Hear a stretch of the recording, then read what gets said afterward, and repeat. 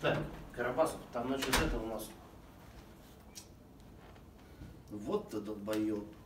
Почему? Потому что долбоеб. Вот что это такое, блядь? Накупил себе этого говна опять. Блядь, вот эти вот мачете там, как их там, спорт или не спорт. Блядь, сидишь там, блядь, въебываешь 24 часа в сутки. Блядь, работаешь хуй знает сколько. Потом купил себе, поставил ее в свою ржавую девятку и катаешься по району, король такой, у меня мачете спорт. А потом загоняешь домой в гараж машинку, поднимаешься домой в квартиру, там заходишь, там открываешь контакт, а там хуяк, радиомаяк и новость от Вити Моца, блядь. Вышла мачете суперспорт, и ты-то такой, ебать! Это сколько ж мне надо работать теперь, чтобы заработать-то вот на новую мачете спорт? Потому что мачете обычная уже не котируется, блядь. А тебе не одну надо, тебе надо две. У тебя братан есть, блядь, он в твою тачку сядет, он тебе по-любому ее спалит. И ты что ж теперь делаешь-то? Работаешь, блядь, в два раза больше, чтобы купить очередную хуйню с названием мачете спорт или суперспорт.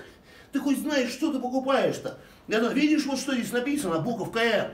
Знаешь, что это значит такое, блядь? Это мачете, блядь. А знаешь, что такое мачете?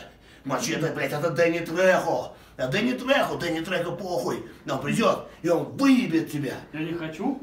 Похуй, он тебя все равно выебет. И брата твоего выебет. И всех остальных, у кого мачете спорт, тоже придет и выебет, что он Дэнни Трехо, он иллюминат. Знаешь, что такие иллюминаты? Лампочки? Лампочки, с лампочки у тебя в заднице, куда Дэнни Трехо приедет и тебя выебет. И все почему? Потому что ты купил вот эту вот мачету, ступил на этот самый путь, где тебя достанет Дэнни Трехо.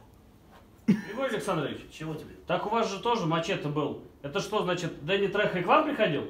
Ой, иди нахуй.